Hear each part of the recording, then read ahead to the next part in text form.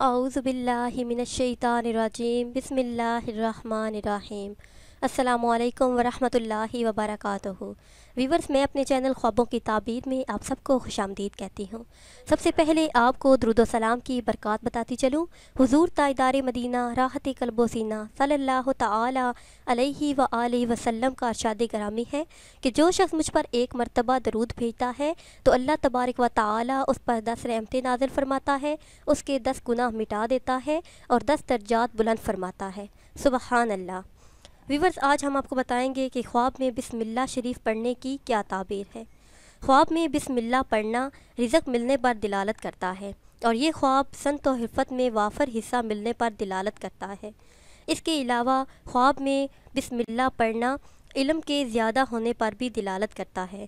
بعض اوقات، بسم اللہ پڑھنا گمراہی کے بعد ہدایت ملنے پر بھی دلالت کرتا ہے۔ اگر صاحب خواب دیکھے کہ بسم اللہ شریف پڑھی ہے، تو دلیل ہے کہ اس سے کوئی گم شدہ چیز مل جائے گی۔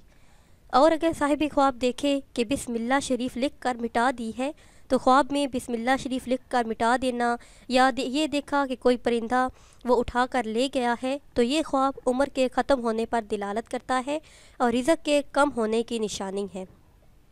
اور بعض اوقات بسم اللہ لکھنا ذرائط میں منافع حاصل ہونے پر بھی دلالت کرتا ہے۔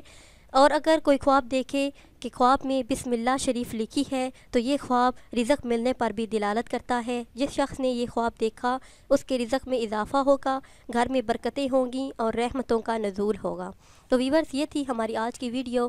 امید کرتے ہیں کہ آج کی ویڈیو آپ کو پسند آئی ہوگی۔ اگر یہ ویڈیو آپ کو پسند آئی ہے، تو اسے شیئر کریں اور لائک کریں تاکہ ہم آپ کے لیے مزید اچھی ویڈیو بنا سکیں۔ اور ہماری حوصلہ افزائی کے لیے ہمارے چینل کو سبسکرائب کریں۔ دعاؤں میں یاد رکھیے گا۔ اللہ حافظ۔